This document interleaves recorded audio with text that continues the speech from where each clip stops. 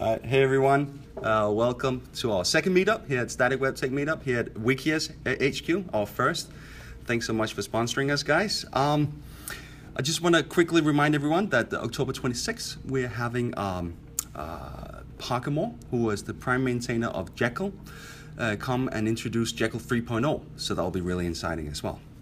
Uh, right, so today it's all about WordPress and how to migrate from WordPress to Middleman. And to talk about his own personal experience in that regard, we have James Stone, who's uh, both an author, video blogger, blogger, evangelist, developer, and much more. So without further ado, I give you James Stone. Thank you.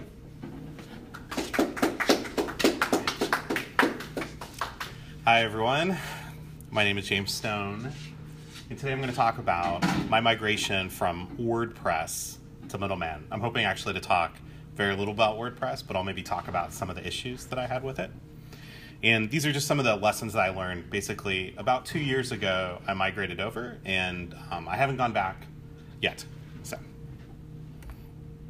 so just a little bit about me. Um, I do front end development, and I'm almost purely focused on Zurb Foundation, which is a front end framework. I'm author, blogger, vlogger, and so having a blog and having it be stable and performant is actually really critical for my business, right? And so I guess this all started. I had a WordPress site, and I used to be an avid reader of Hacker News, and I, I came up with this. I, I really wanted to know how do you survive the Hacker News front page, right? Because I would watch constantly as people didn't survive, right? And I knew for sure WordPress usually wouldn't cut it because I watched WordPress sites go down like almost like instantaneously, right? And I also saw like a lot of Heroku Rails apps. They were like, "Oh no, we fired up, we fired up tons of uh. Like, go back." But by then, you know, you're already off the homepage, and and all that kind of enthusiasm for whatever it was that you were promoting, it kind of died. And so, yeah, people chat like it's back up, and you'll see all this like slew of comments and then you go check it out because I'm kind of curious. I'll keep that stuff up because I'm like, I, I want to see what it is. But I think in general, probably you're not going to get the bulk of the traffic. And so for me, the question was like, how do you survive as a blogger? Because I wasn't building an app. I didn't really have an app in mind that I was going to try and get on Hacker News. And I haven't been on Hacker News, but the goal is just to survive the impact of some sort of event that would drive that kind of traffic. And at the time, and this is a couple years ago, I kind of estimated and I don't know where I got this information, but probably from just people talking about things. But I had an idea that it probably is going to send about 6,000 unique users in about an hour, and they might do weird stuff to your site. And I figured if they sit about a minute on average, that's like 100 concurrent users minimum. And I think that's pretty much going to take down most shared WordPress type installations. And not only that, but I, I also believe that there's probably a large spike at the beginning that's going to kill it even further. And so I got really interested in performance at this time, and I was trying to get my own server to be able to perform in such a way that I could just get WordPress to withstand this this kind of impact, right? And so I started testing um, with Apache Bench, and it basically load tests your Apache or whatever web server you have. And I was really interested in how many sustained concurrent uh, users I could get, where I wasn't going to start losing performance because I didn't think it was a good deal if you get on Hacker News and the speed just plummets. I think that's just as bad as it not showing up. And so I started testing um, static generated WordPress pages. So basically a copy of my blog versus like a WP, I think it's called Super Cache enabled WordPress site, which is supposed to be pretty much as fast as it gets, right? Without doing too much other crazy stuff. Exact same content.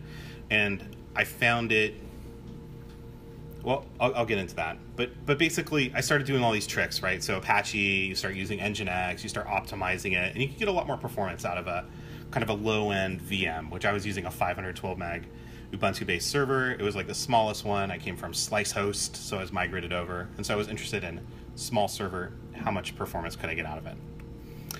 And so what I found is that even like the simple PHP scripts, like uh, WordPress ran about six to 12 times slower from, I don't have the statistics exactly to tell you, but this is my recollection. And it was a pretty big performance bottleneck for me.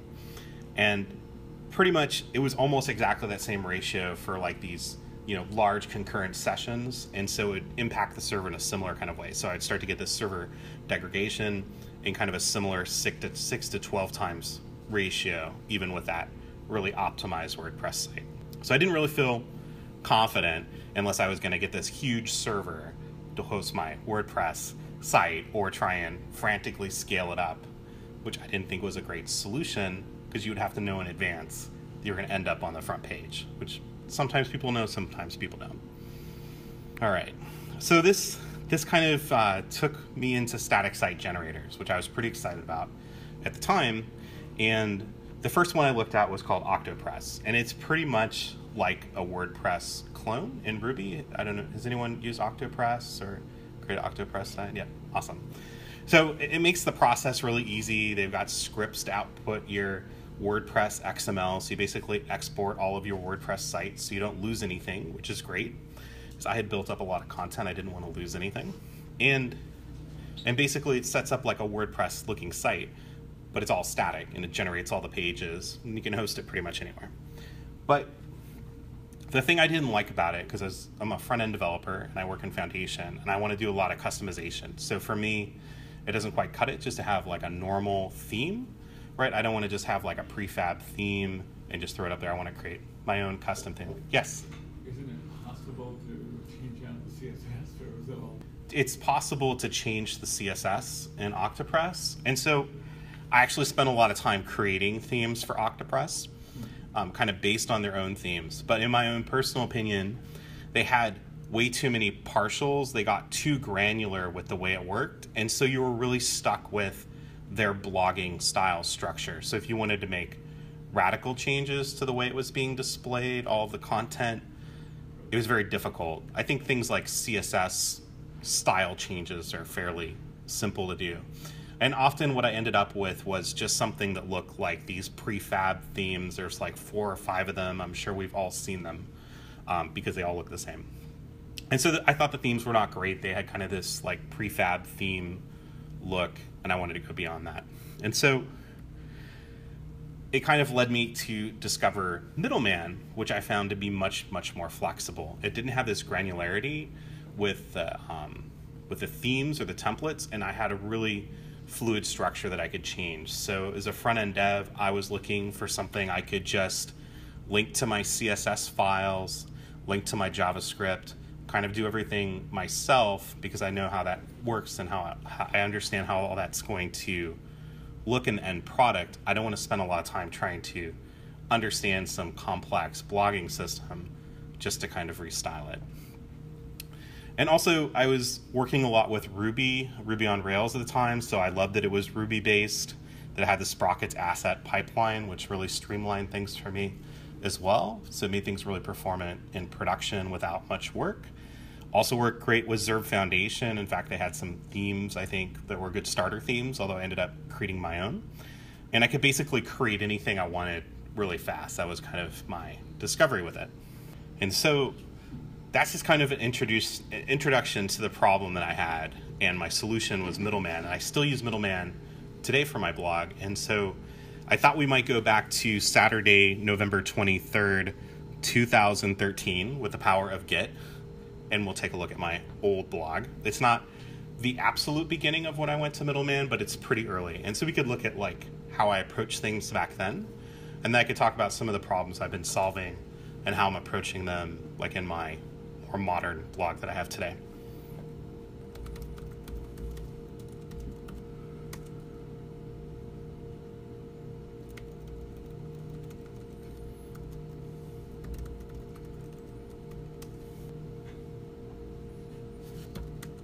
So I have an alias, bundle exec middleman, because I type it all day long.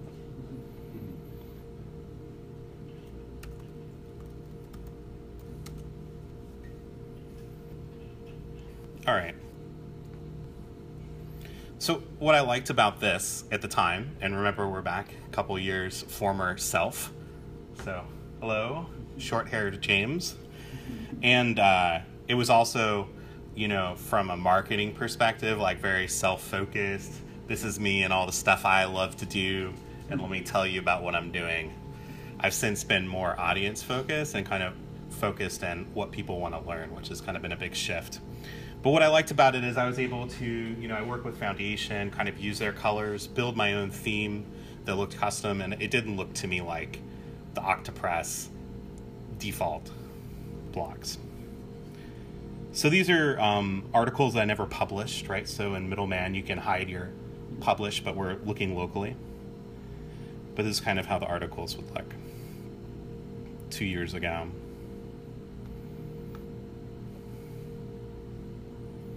And you notice my domain, the manofstone.com, has changed. Yeah, just, I mean, it's just, I think it's a very simple blog, and I was kind of interested to have my own style, and I'd spent some time kind of customizing the UX with it. Here I am promoting, right, trying to capture email addresses and Disqus comments.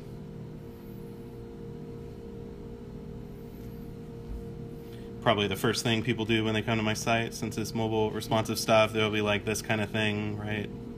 Sometimes I run Mouseflow and check, and everyone's checking to make sure I'm actually practicing what I preach. So there.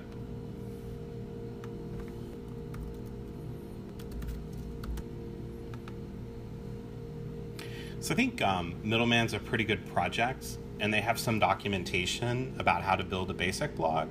But a lot of other things I had to kind of dig out of Git issues and other things, right? So we're going to kind of flip through and see what kind of customization I've done.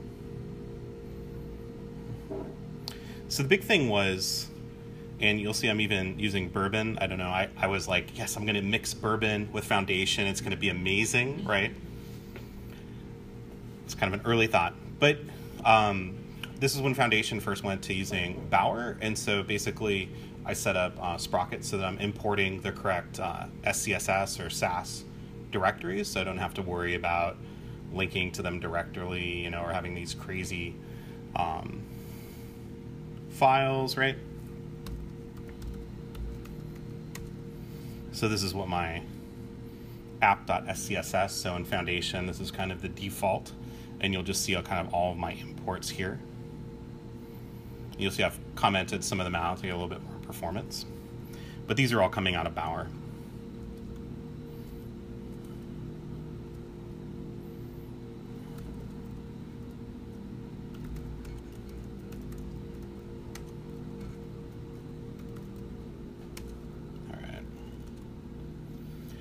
Okay, cool.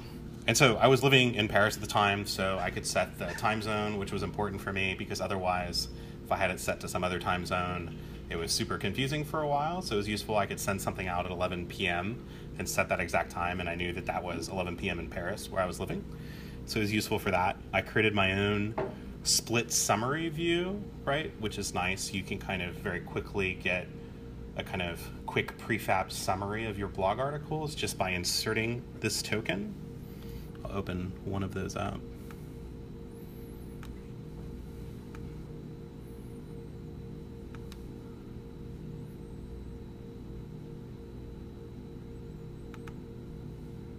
So you see I'm using it right here. And so what I can do then is on like the main blog roll page, then I can kind of just quickly grab that top summary.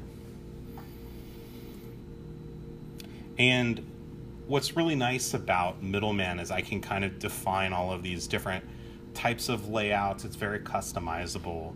Like I think in Octopress, often it was like a blog. I couldn't really change too many things, but here I could create new pages on the fly. I could change the layouts. So if I wanted to not load certain things, or like in this case, I didn't want to have partials like for the header and footer on landing pages because you know typically you don't want to have a landing page and have someone go to it and have them get lost by navigating your site. So it was very useful for that. And so you can do that page and just by setting the layout. You can also do this in the YAML as well. And I'd kind of changed, you know, the markdown engine using fence code blocks, all this kind of stuff. And if you can see back in time, I was experimenting with S3, which I didn't have a really great experience with, and I can explain why. But I thought this is going to be so fast, you know, S3, CloudFront, I'm going to host my blog. But the problem was, is it would kind of time out. And so when I would hit the page, it was actually very, very slow unless I had accessed it very recently. And so I didn't think it was a very good user experience. I don't know if that's changed since then. All right, and you'll see I don't have my password here, which is a good thing. Very cool. And so, I mean, the way all of this works is in Middleman, you have this config RB. You can kind of set some general settings, right, for your layouts and the way the blog's working, configure plugins.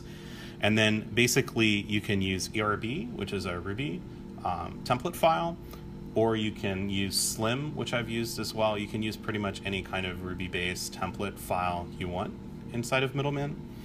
And then all of my pages, I would just create a new template for those.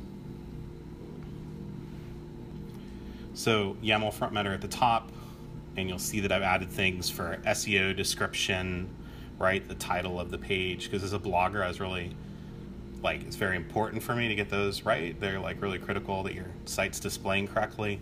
And I didn't see that Middleman had them really built in, so I kind of wrote my own way to handle those things.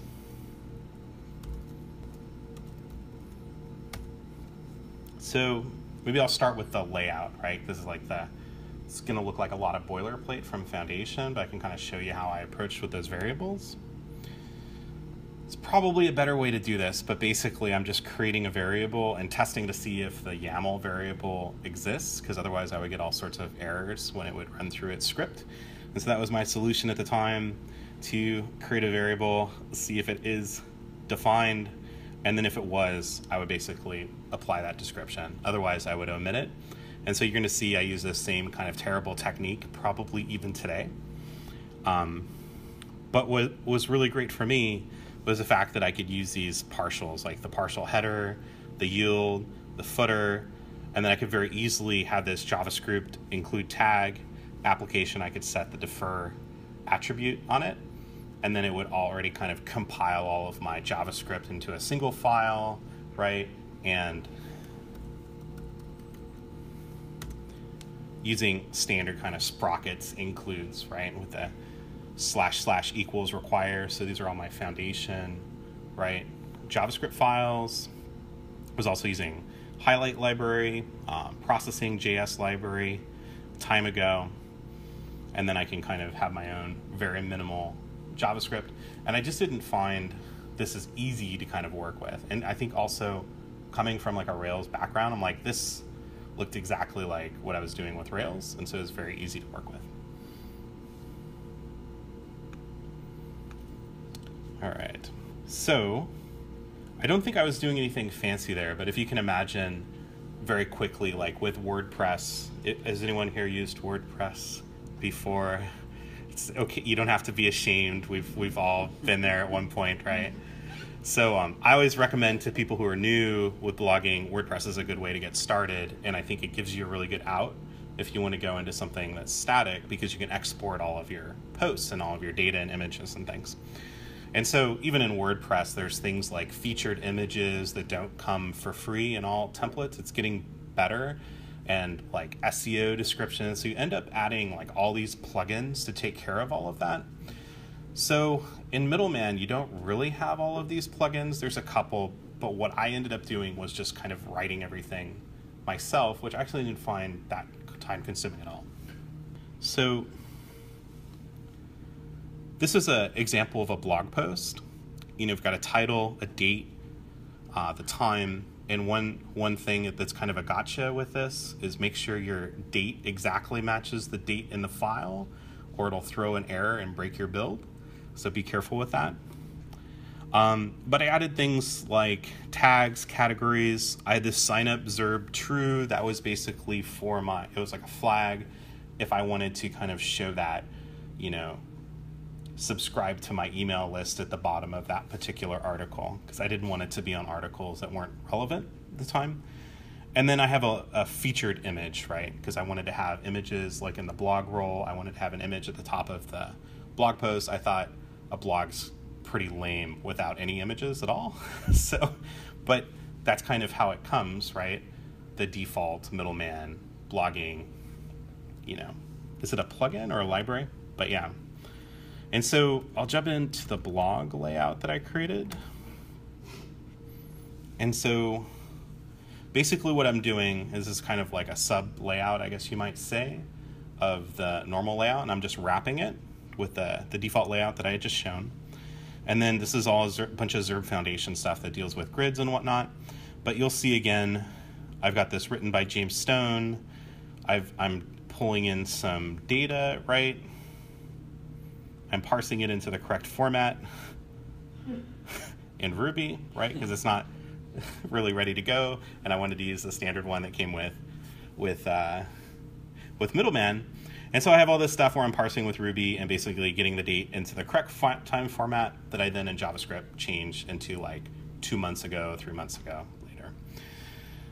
And so as we go down the page, you'll see here, I'm basically testing again to see if that variable is defined, to see if there's a featured image, and if there is, I'm just showing it. So it, a lot of it's just kind of like I added a bunch of YAML, and if that variable was there, then I would kind of show something or show a block of code. So it's pretty simple logic. It's not really very difficult to do.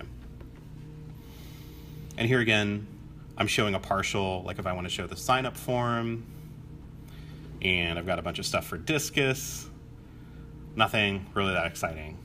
So maybe I'll talk about some of the problems that I experienced as a blogger, because obviously I think the pain point for me was at some point I love the performance of static and I love how it works, but I was like, I really wanted to do some things on my blog, and I, I felt like I should go back to WordPress because I know there's some plugin that would do it automatically with no effort, but I resisted the urge to do that, and so instead I looked for other solutions.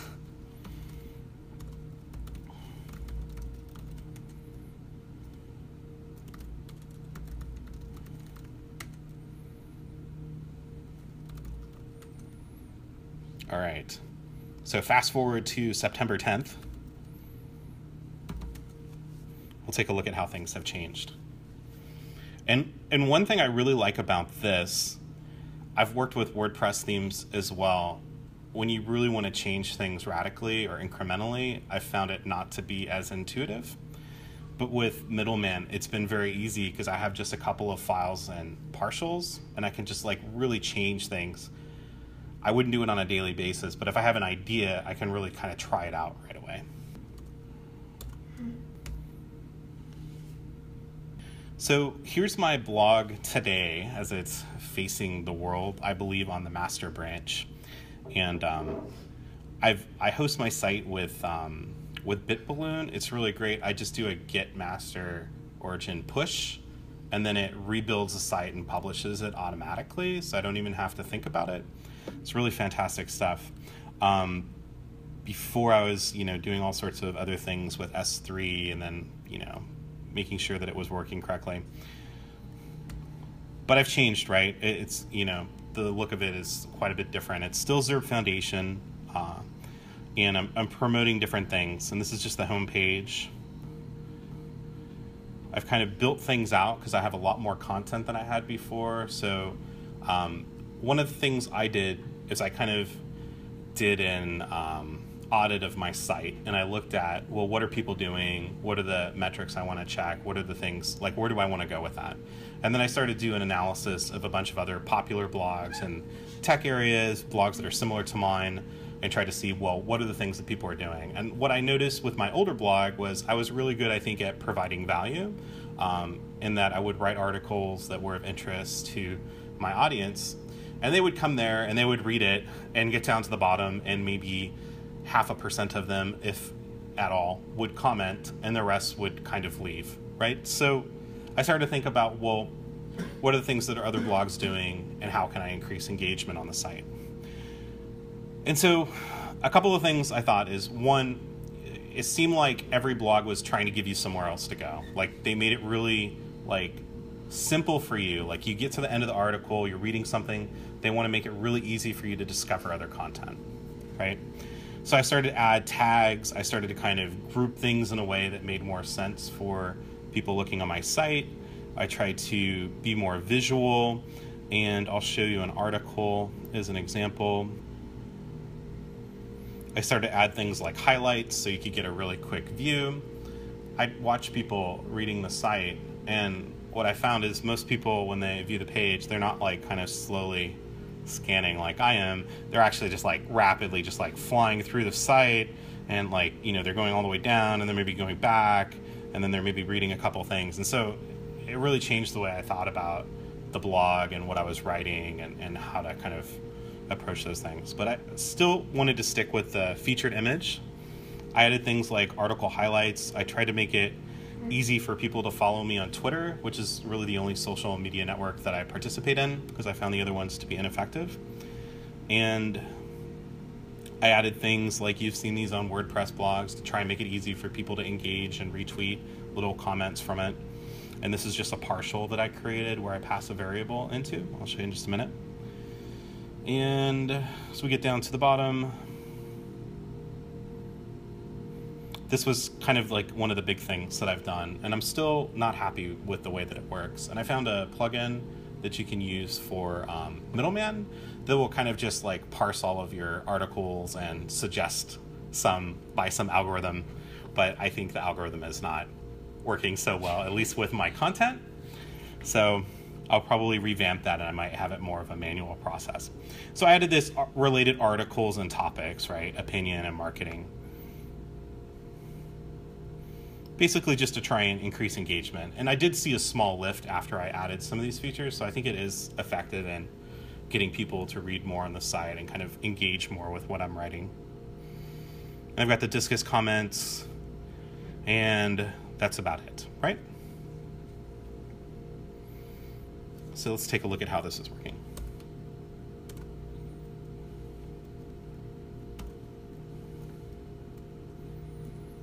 All right. So what kind of stuff is new? Rollbar is new, right? You gotta know if you're getting weird JavaScript errors. And you'll see I started add a bunch of favicons, verification, and SEO description is similar.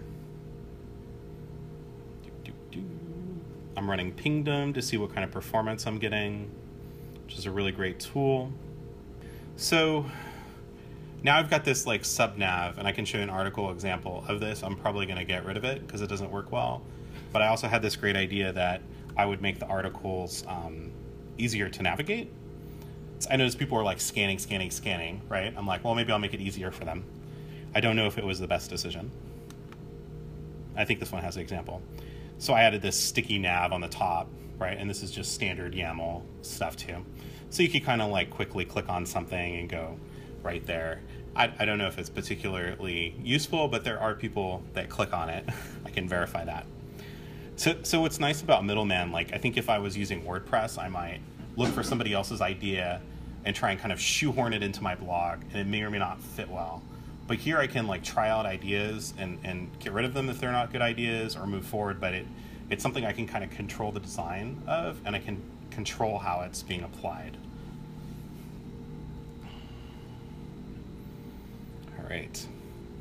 So the other thing that was a big change, right, since 2013 is I started doing a lot more video on YouTube and I'm kind of in the process of trying to integrate video better with the blog and integrate my blog better with YouTube. And so one of the things I do quite a bit is I release a video on YouTube and I want to promote it and kind of cross promote it and have other information on the blog, but also have it viewable for the video. And so if I go to one of these articles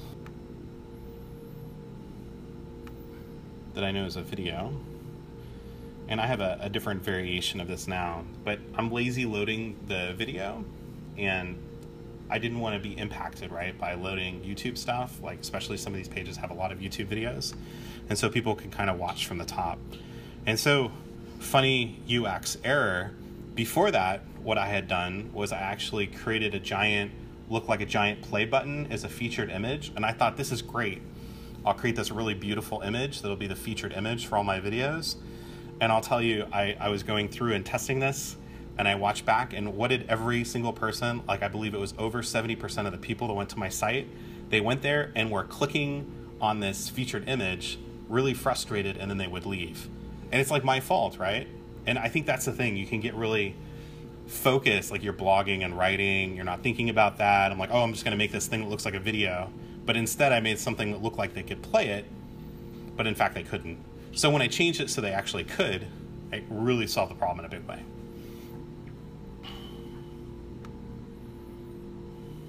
All right.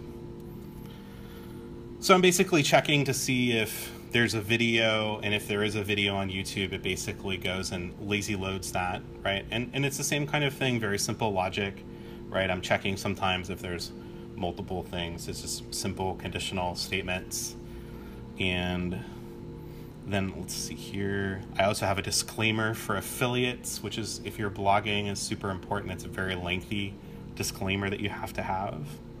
Um, highlights.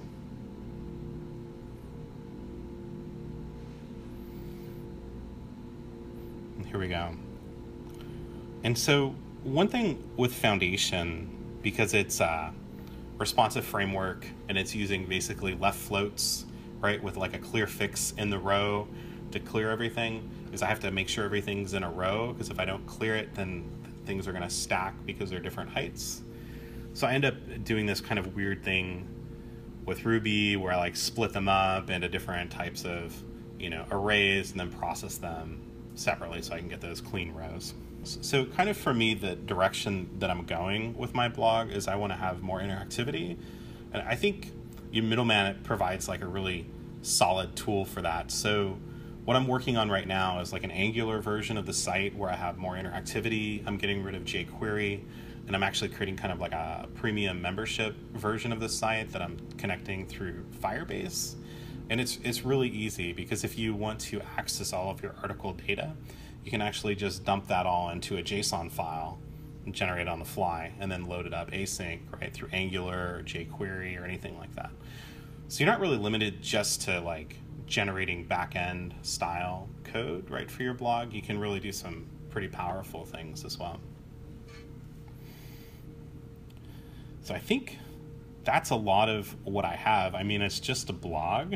It's not uh, not rocket science here, but I found Middleman to be kind of like a really good tool for that. I think the other side for me of what I use Middleman for is I use it for creating rapid prototypes um, and also kind of clickable prototypes for clients. And I've found it to also to be really good for that because I can use partials and headers and footers and be able to kind of generate uh, a website of any style and keep it separated and keep it really clean and neat. But I think for me, it's been a much better process than WordPress. And the performance is phenomenally better because I have a lot of control over it. And there's no way I could host like a WordPress site that would be so fast. I think um, so. The other thing I do a lot is testing like front end performance. Typically, what I see with most WordPress sites, and sometimes people ask me for advice about this type of thing, but they'll take forever to load, maybe 10, 15 seconds. It's really crazy. And a lot of it comes from having tons of plugins and a lack of optimization. But it's a little bit difficult to get things streamlined in WordPress, especially if you have a really large blog with like a lot of images and a lot of content. There's not like really a tool that you can run in a batch to very quickly do that. And so, I mean, what I'm ending up with here, instead of like with WordPress and having all of these CSS files being loaded, and maybe it's going to load, I don't know, jQuery UI or something else that's pretty heavyweight, or maybe multiple versions of jQuery. And, you know, like I said, 100, it can be 100, 150 connections, right? Even just the script files. I end up with like a single JavaScript file that I have a lot of control over. I can add libraries. I can move the order in which they're loaded. I can even have more control and, and be really specific on like a per page basis. And you know, I can do all that with middleman. Like, I, I just can't imagine like being able to have that refined control with WordPress. The other thing I hear a lot, like what uh, I think from my clients, the number one thing I hear about WordPress, and I don't usually recommend it, but the number one thing they say is, I, I'm worried I'm going to get hacked, right? And I think that was one of the big benefits for me too, if we come full circle back, right? Thinking about like hacker news, that's probably like the number one thing I would be afraid of getting my WordPress site hacked. And I think with a static site, you know, if you're tying into data, of course you have to be careful there, but the static files themselves, like there's not only so much you're going to be able to do with a static file, and I think it's a lot less vulnerable than WordPress, and you don't have to keep updating it all the time. Like obviously, we just went back in time and I just generated my old site, right? Like that's pretty powerful. I don't think that I would be able to do that in WordPress very easily. Awesome. What do you use for content editing? Just the text editor? Do you have some Markdown editor you like? Yeah. So um, for text editing, what tool did I like? So I pretty much do everything in a tool called Ulysses 3. Has, ever, has anyone heard of that? Um, so maybe I'm a little bit of a hybrid. I do have a degree in the humanities, but um, it's actually a pretty neat tool. Has anyone ever heard of like Scrivener? All right. So basically, it's a markdown editor. But what you can do is you can create multiple files and you can start writing in a non-linear way, right? So like topic one, you know, topic two, topic three, whatever. And I mean, often as I'm going farther, I usually end up with an outline before I'm writing. I'm not just kind of free writing. I mean, that's still an approach that I use, but I don't tend to free write my blog articles anymore, the other things I'm writing. I start with an outline. And so then what's nice is you can go in here and start splitting these up. Um, let's see here, split here. And it basically is creating different files and then you can kind of reorganize them. So I could like start at the conclusion, I could start at like a different topic. I don't have to write it in order. And it seems like for a blog article that this isn't useful, but I've written a book and I write almost every chapter in this, and sometimes the chapters are like 45 and 50 pages, which is terrible, right? So if you're trying to edit a 50 page document in Microsoft Word, which is the desired output, right, for my publisher, that's terrible. So I always start here because I can get that flow, I can get things to make more sense, I can put all my code samples, and I understand Markdown really well. And so then I take that into Word and kind of modify it. But the nice thing here like you can go and export this into any kind of format and you can do it does some fancier things like linking and creating like if you have a big list you can create a bulleted list very quickly but um, i think the big thing is like i work here and you'll see like i have a ton of stuff right i have like my swipe files and this kind of stuff um, different ideas that i have and so i kind of keep all of my stuff in here about writing and then I do my longer form and then also my blog articles. They all start here, and this is like the rough draft, and then usually it's Sublime Text or something like that afterwards. But yeah, I think uh, Middleman in general, like is an open source project, I think it's pretty good. It's active, and they have really good documentation. So, you know, often some open source uh, projects, you're just kind of thrown to the wolves, or like you got to read the source to figure things out and I, I, think it's you know much much better than that. They have very extensive documentation. They have a lot of examples, and so um, it's only kind of like really nitpicky things, uh, little details of a blog. There are things that I had to kind of really research to figure out. So I would love, I mean, just in general, if it's going to continue to be a blogging platform, I'd like to see more tools or methods um, that apply more to blogging, like the tools of a blogger, so to speak th- that's what I would like to see, but not in a way where it creates a lot of bloat, but in a way that you can easily use them, or at least easily know how you can include things like that. So thanks again for for coming and, and talking. Thanks to Wikia for hosting this, and uh, thanks to you all for coming. And um, hope to see you again the 26th of October. That's in what three and a half weeks, something like that. And uh, that's going to be all about Jekyll and the launch of Jekyll 3.0 and the prime maintainer, um, uh, Parker Moore, will be here. So uh, hope to see you all then. Cheers. Thank you.